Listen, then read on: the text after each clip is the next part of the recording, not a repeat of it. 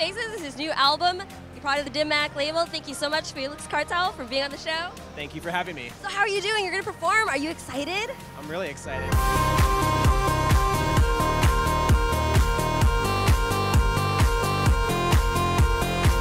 Wait, wait. I know you're a super seasoned performer. Do you actually ever get nervous when you get on stage, or does that like crowd energy just like pump you, and you're just like, yeah, whatever?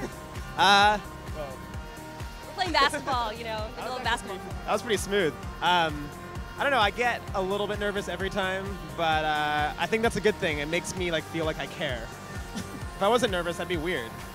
Definitely, definitely. so I've seen you perform before.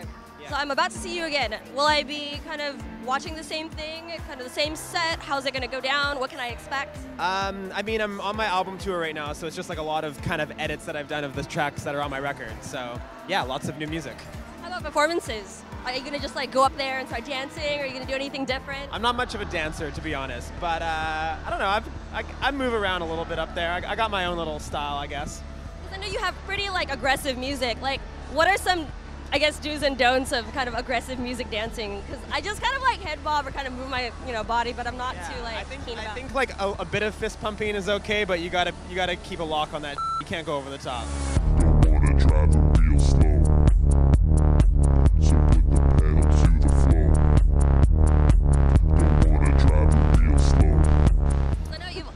Tour the Dim Mak label, correct? Yeah, that's my record label. Steve Aoki's my homie.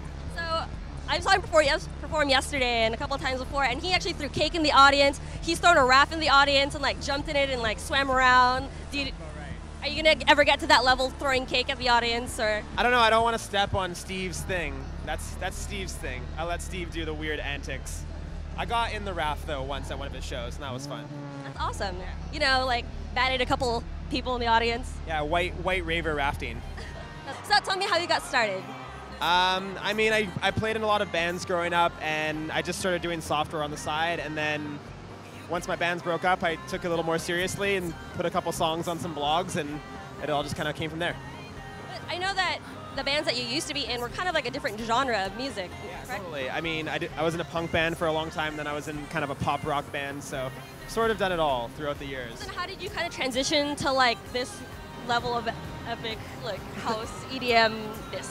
Um, I don't know. I think a lot of the things that I was into in dance music originally were people that were like bridging the gap, like MSTRKRFT, and they were doing, you know, remixes for bands that I liked. And I think that's sort of when I started to like draw the similarities between rock and the dance world. How do you think that has influenced your music now? Like being part of kind of like a different genre. Um, I mean, for me, I really like writing albums, and I don't think a lot of dance guys write records. So, yeah. So, I mean, on the record, I collaborate with a bunch of different band people, like The Sounds and Sebastian from Death from Above 1979. So, kind of doing that is a little bit. I haven't noticed other people doing it as much, so it's kind of my thing. Like you know, it's a totally kind of different genre, and like you get I guess those guest singers to come on board. Like as far as lyrics go, do you ask them to kind of like choose lyrics to go with your the, the beats you've produced, or how does that work?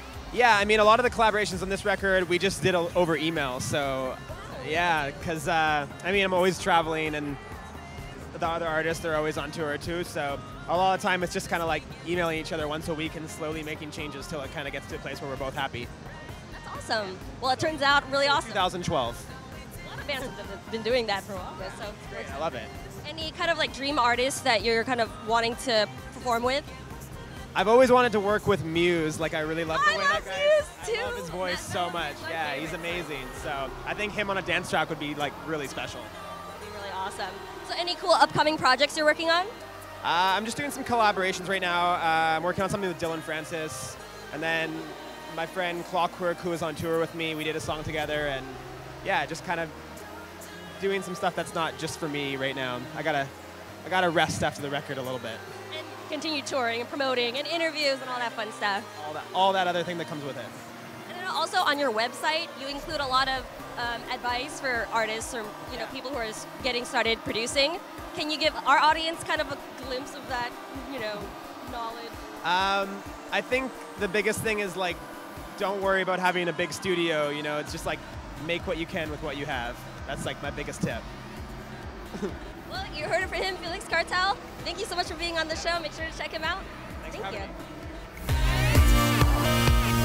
Don't turn